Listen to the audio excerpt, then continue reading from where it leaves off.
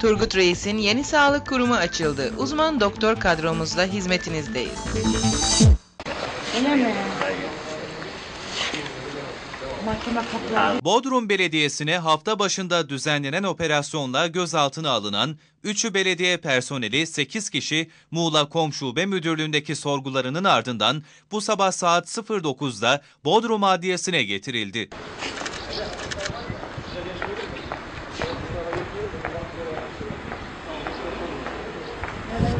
kahve mi?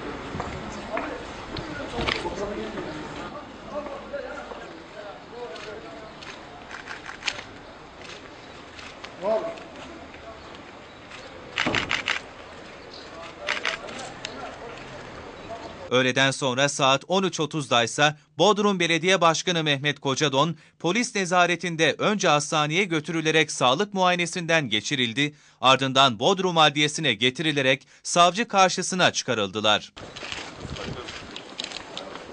Başkanım ne sıfatla ifade vereceksiniz acaba?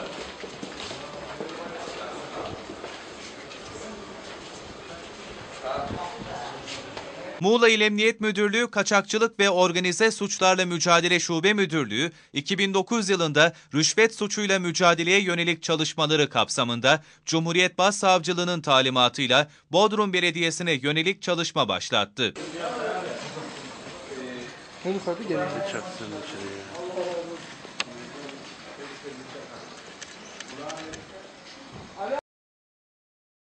Bu çalışmalar ve emniyetin projeli çalışması süresince görevi kötüye kullanarak kafe, restoran, otel gibi iş yerleri için usulsüz ruhsat işlemleri yapıldığı, imara aykırı tadilat ve onarım izni verildiği, bunun karşılığında işletme sahiplerinden bağış adı altında farklı firmalar adına çek ya da nakit para girişi sağlayarak maddi menfaat temin edildiği tespit edildi.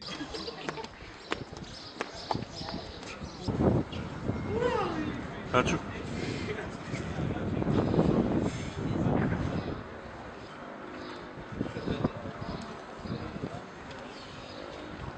Yine emniyetin bu projeli çalışma sürecinde geçtiğimiz yıl Haziran ayında Bodrum Belediyesi ile Bodrum'da faaliyet gösteren birçok işletmede arama yapılarak çok sayıda evrak ve dokümana el konulmuştu. Alınan bu evraklar 11 ay boyunca bilirkişi incelemesine tabi tutulmuştu. Bilirkişi raporları doğrultusunda elde edilen deliller sonrasında harekete geçen polis yaklaşık 32 aylık projeli çalışmayla ilgili olarak geçtiğimiz pazartesi günü Bodrum'da 8 ayrı adres, İzmir'de 5 ayrı adres olmak üzere 13 ayrı adreste 60 personelin katılımıyla operasyon gerçekleştirmişti.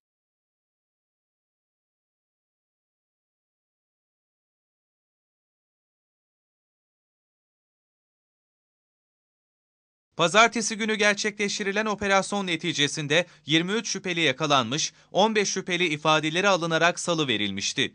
MFÖ, HA, ND, YA, VK, OB, SG, OÇ isimli 8 şüpheli ise gözaltına alındı. Tahkikat süresince emniyet güçleri 39 şahsın şüpheli sıfatıyla, 8 şahsın müşteki sıfatıyla, 24 şahsınsa bilgi sahibi olarak ifadelerine başvurdu.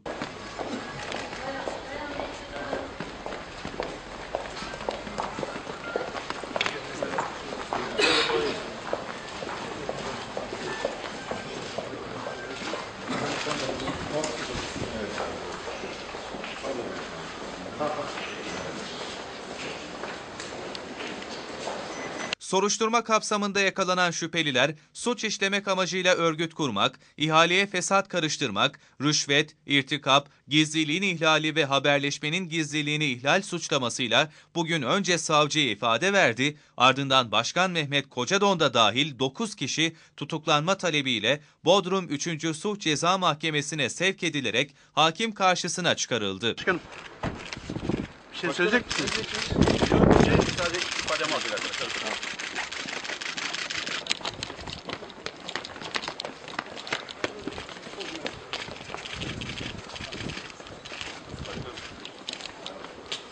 Ne sıfatla ifade vereceksiniz acaba? Bilmiyorum da.